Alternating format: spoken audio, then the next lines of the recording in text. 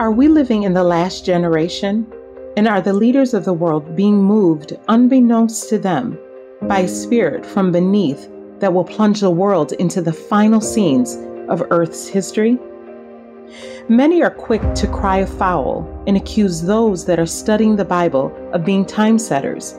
They point to such scriptures as Matthew 24, verse 36. But of that day and hour knoweth no man, no, not the angels of heaven, but my Father only. But does this scripture stand alone, placing the servants of God on the same plane as unbelievers, both oblivious to the timing of his return? Many neglect to reconcile even Christ's words in Matthew 24, verse 33 and 34. So likewise, ye, when ye shall see all these things, know that it is near, even at the door. Verily I say unto you, this generation shall not pass till all these things be fulfilled. Here, in no uncertain terms, Christ points to a definite time in describing this generation, the generation that sees all the aforementioned signs. The question is, are we in that time? You be the judge.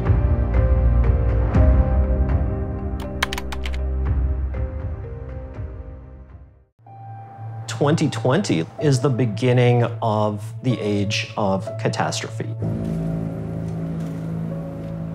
It's kind of the future warning us about what's on the cards for us. Because the grim truth that I think we're not facing is that our civilization is now beginning to collapse in very real and very serious ways.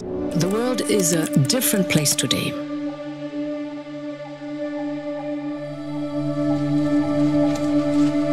Cannot uh, ignore the global security issue that could impact millions around the world. Without immediate action to support developing countries, inequalities and poverty will deepen, not to mention the geopolitical divide. We're on the cusp of not only a climate catastrophe, but also an economic catastrophe. The inflation rate soaring to its highest level in 30 years. Costs are going up everywhere. Food, electricity, water, medicine. It's a very pressing situation. But we're dealing with 7.8 billion people on Earth that need and rely on this supply chain system. We are challenged by the number of people in need. And these people are suffering in such a devastating way. They can't, you know, how are they supposed to get through the day? No, no, don't be sorry. We all know that we're past the point of no return. We lost 60% over to recycle, 9% of It's really a horrifying situation, and as a and technological disruption. Incredible inequality and a planetary emergency.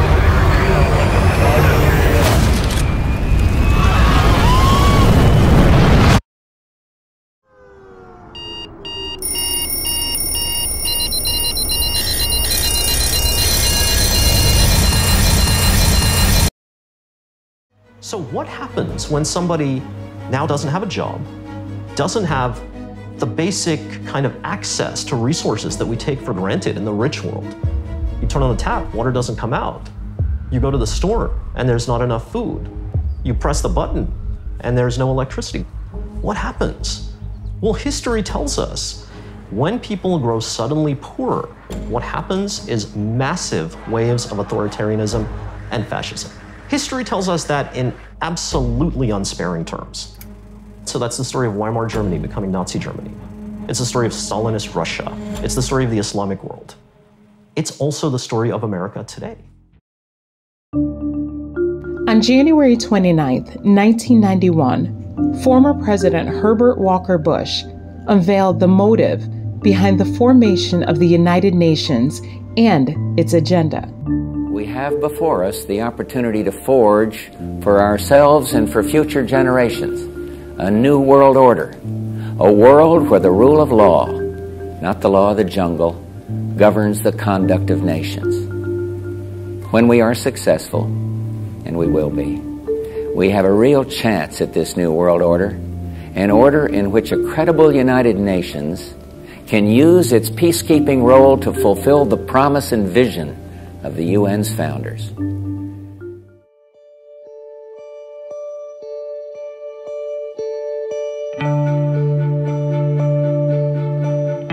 This is a very important story. the important story. In the midst of COVID 19, it's an historic opportunity to look at the facts of the world as it is, and then to focus on the solutions to some of our greatest problems. In the 75 years since the United Nations was founded, the human race has never had to face a set of challenges like we do right now. But together, we can overcome them. September 2020. The world is still in the grip of a global pandemic. There have been more than 27 million confirmed cases, and more than 900,000 people have died. Billions of people have been in lockdown for months. Lives and livelihoods have been threatened and lost. But as some lockdowns are easing, people are emerging into a different, uncertain world with a new appetite for change.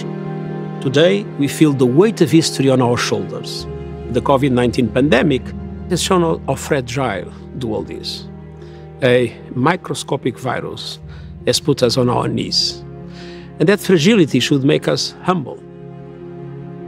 COVID 19 has been likened to an X ray, exposing fractures in the skeleton of the societies we have built a world with great inequality, which must be righted. And a world which must win the battle against climate catastrophe. The whole planet is at stake. So, this is a moment to recognize that the way we have been moving leads nowhere and that we need to change course.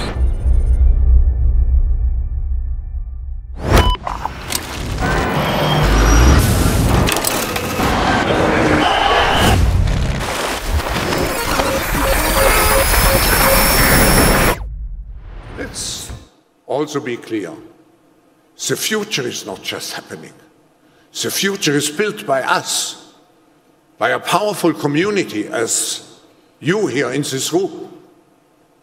We have the means to improve the states of the world. Leaders from around the world are advocating for a restructuring of global systems, more commonly referred to as the Great Reset. Unfortunately for many, this is a foreign concept, which, if they truly understood its implications, would cause alarm. Under the guise of the Great Reset, the United Nations, the World Economic Forum, the International Monetary Fund, and the World Health Organization are seeking to establish a system in which you will, in their own words, own nothing and be happy, all under the pretext of combating climate change. Through the use of a central bank digital currency, 15 minute cities, digital health certificates, and a digital ID, the world is being coerced into a digital prison as a purported solution to society's challenges. This is the plan that I have repeatedly warned about to take the tools of oppression used to tackle the coronavirus and use them all lockdowns, forced business closures, exclusion zones, isolation. We heard, we heard Angela Marsden earlier, businesses shut down, isolation at home, all of that, all of those measures, including destroying private property rights and private income in order to tackle the climate crisis. For too long, humanity has existed within dysfunctional and polluted cities that ignore nature. Now, a revolution in civilization is taking place. Imagine a traditional city and consolidating its footprint, designing to protect and enhance nature. The line will be home to 9 million residents and will be built with a footprint of just 34 square kilometers and we are designing it to provide a healthier, more sustainable quality of life. The Line's communities are organized in three dimensions. Residents have access to all their daily needs within five minute walk neighborhoods. And the Line's infrastructure makes it possible to travel end to end in 20 minutes with no need for cars, resulting in zero carbon emissions. The Line the city that delivers new wonders for the world. What can you do in 15 minutes? Empty the washing machine and hang up your fresh laundry? Read a couple of chapters of your favourite book? Watch half an episode of How I Met Your Mother? Well, creepy local authority bureaucrats would like to see your entire existence boiled down to the duration of a quarter of an hour with the arrival of so called 15 minute cities. If the World Economic Forum could lay out its perfect design for humanity, it would look like this. You would never leave your house. You would get rid of your car. You would ride your bike everywhere. You would walk to everything you needed within a 15 minute radius of your home, right? The, the pharmacy, the grocery store, grandma, everything, the school, everything would be within 15 minutes of your home. And if you think this is something out of a, a fantasy world, it's not. It's actually already been rolled out in a number of cities across the around the world in Barcelona, in Melbourne, Australia, parts of Melbourne, um, Paris, and Milan. So this is already a reality, and they're continuing to push this out in more and more World Economic Forum controlled countries. This dystopian plan will see roads in some of Britain's most iconic towns and cities being blocked off, with cars being restricted to certain areas, all overseen by number plate recognition cameras installed everywhere, with a surveillance culture that would make Pyongyang well. envious. So basically, they're a top down imposition using the idea this would be a lovely livable street, active travel. It's all about people friendly oriented. But actually, what it means is it's an attack on cars and our freedom of movement and independence. Welcome to dystopia. Um, all our cities will probably end up now being broken up into precincts like uh, sci fi films that were made predicting a dystopian future. You can't even travel into your next couple of roads now. Um, there's going to be fines if you leave your area or your 15 minute zone more than twice a week. Well, you don't even have to wait for the electric vehicle. I took a rental car from Budapest to drive into Ukraine a few months ago, and the car had been programmed in order to prevent me driving it into the war zone uh, the car had been programmed to die at the border. I couldn't figure out what had happened. It just stopped. And I, as I think I said on this show back then, if you think that's just going to be applied to Ukraine, no, no, no. Uh, and in fact, I think Joe Biden has just made it mandatory that all American cars have to have a kill switch in them by 2026. So there is actually now a, a governmental war on freedom of movement. See, right now, the WF are providing a platform for those pushing a My Carbon initiative. In my words, it's essentially a personal carbon social credit system that will track everything you do, everything you buy, everything you eat. It's like Big Brother. We're developing through technology an ability for consumers to measure their own carbon footprint. What does that mean? That's where are they traveling? How are they traveling? What are they eating? What are they consuming on the platform? So, individual carbon footprint tracker. Doconomy is a Swedish fintech that provides digital services to help consumers reduce the footprint generated by their consumption. With this in mind, Doconomy launched the 2030 calculator. It's the first credit card ever to stop you from overspending. Not based on your available funds, but rather on the levels of CO2 emissions caused by your consumption. Do Black helps you track your climate impact and ensures that you reduce it by 50% in line with the UN 2030 recommendation. The core purpose of Do Black is not only the ability to measure the impact of your consumption, but also bringing it to a direct halt, making it a radical tool against climate change. Um, our concern is the combination of sort of a, a global singular ID that, that combines everything uh, with a digital currency, which is being pushed simultaneously along with uh, this kind of concept. So, our concern is that you get to the point where it's very easy to literally flip a switch and prevent you from participating in society. Yes, it appears that the United Nations is very keen to introduce a global digital ID system that is linked to individuals' bank accounts. The plan is outlined in three new policy briefs from the UN titled A Global Digital Compact, Reforms to the International Finance Architecture, and the Future of Outer Space Governance. In 2019, before COVID, the World Economic Forum and the UN put out a joint agreement that they were going to team up to fast forward the 2030 agenda, also known as the Sustainable Development Goals, which is what a lot of this is about. This really is a it's a it's a means of of collecting data um, by your digital ID. Your digital ID is your face, really. Your facial recognition will unlock everything that you need to access goods and services, bank accounts, whatever. And, and that zero trust world uh, really um, it, it, means that you, in, in, order to access all these goods and services and, and everything that you normally access in a free world, you won't be able to because you, you will have to authenticate all the time. To shop online, you'll have to use your digital ID to prove you are who you are. Just to read your email, to use online banking, even to open your computer will require your digital ID. You'll be in digital jail until you open it with your digital key. All of this can be connected to your carbon footprint and the rest of your social credit score. Make no mistake, all of it is on the Chinese model that enables the state to watch, track and record everything you do and everywhere you go. The cameras are already in place around us and in our phones and screens alongside the microphones that can listen. All of this can be tied to a central bank digital currency, not actual money you can hide under the mattress, just a digital credit rating monitored before any and every transaction. And what we're seeing in the world today, I think, is we are on the brink of a dramatic change where we are about to, and I'll say this boldly, we're about to abandon the traditional system of money and accounting and introduce a new one. And the new one, the new accounting, is what we call blockchain. It means digital. It means having a almost perfect record of every single transaction that happens in the economy. The ultimate objective is to move us to a cashless society. So you will no longer have that hard asset of that $20 bill or $10 bill.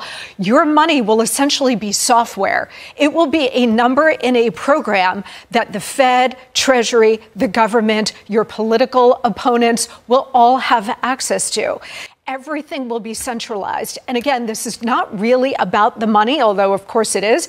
This is about power and control because the government, such as it is, will have access to all of the information related to every single transaction you make. And finally, the third way we think CBDC can improve financial inclusion is through what we call programmability. That is, CBDC can allow government agencies and private sector players to program. By programming CBDC, those money can be precisely targeted for what kind of people can own and what kind of use this money can be utilized. The key difference in, with the CBDC is that central bank will have absolute control on the rules and regulations that will determine the use of that uh, expression of central bank liability. And also, we will have the technology to enforce that. Those, are, those two issues are extremely important, and that makes a huge difference with respect to what, to what cash is. If you overstep perhaps your monthly carbon footprint, right. or if you say something that the government doesn't like, you engage in wrongthink, they'll be able to turn off your access to your own money. So you will not be able to buy or sell anything. This this is what I mean about how dangerous you're it is. shut out of the economy you are, if you're you a are shut out of the economy, and of course it's all subjective, and it will right. be, all be in the hands of these Marxists, right? And so you and I won't be able to buy anything. This is why it's so dangerous because this spells the end of your economic freedom. The benefits of digital money, there are huge potential gains. It's not just about uh, digital forms of physical currency. You can have programmability you know, um, units of central bank currency with expiry dates. You could have, as I argue in my book, a potentially better and yeah, some people might see it or a darker world where the government decides that units of central bank money can be used to purchase some things, but not other things that it deems less desirable. Like so there are wonderful notions of things that can be done with digital money, but again, I fear that technology could take us to a better place, but equally has the potential to take us to a pretty dark place. Um, I think it's very hard for people who've grown up and enjoyed Western liberty and, and human liberty to imagine literally that we're going into a system where literally our homes, our cars, our communities become digital concentration camps. And the reality, as the financial system gets more controlling and more invasive, it's a little bit like bringing up a corral around us. And CBDCs, central bank digital currencies, and vaccine passports or digital IDs are sort of the last uh, shutting of the gate. So, what is the connecting link between Agenda 2030, the Great Reset, and the final generation? The Bible says in Daniel 12, verse 1 And there shall be a time of trouble such as never was, since there was a nation, even to that same time. And at that time thy people shall be delivered, everyone that shall be found written in the book. Once the leaders of the world establish their digital dystopian society, they will have every tool at their disposal to crush out dissent and compel the conscience. It is at that time when the world, as Bible prophecy has forewarned us, will be plunged into the last scenes of Earth's final crisis, a crisis in which we will have to choose whether we will yield conscientious obedience to the edicts of man or the commandments of God. The tools to bind us to a system that is contrary to the will of God is being erected all around us. Can you see it? And he causeth all, both small and great, rich and poor, free and bond, to receive a mark in their right hand or in their foreheads, and that no man might buy or sell save he that had the mark, or the name of the beast, or the number of his name. Are you paying attention? And when ye shall see Jerusalem, meaning the people of God, compassed with armies, then know that the desolation thereof is nigh. Are you watching? Therefore, be also ready, for in such an hour as ye think not, the Son of Man cometh. Are you ready? Watch ye and pray, lest ye enter into temptation. Are you watching and praying? Time is almost finished. Do you reflect the lovely image of Jesus as you should? Behold, I come quickly.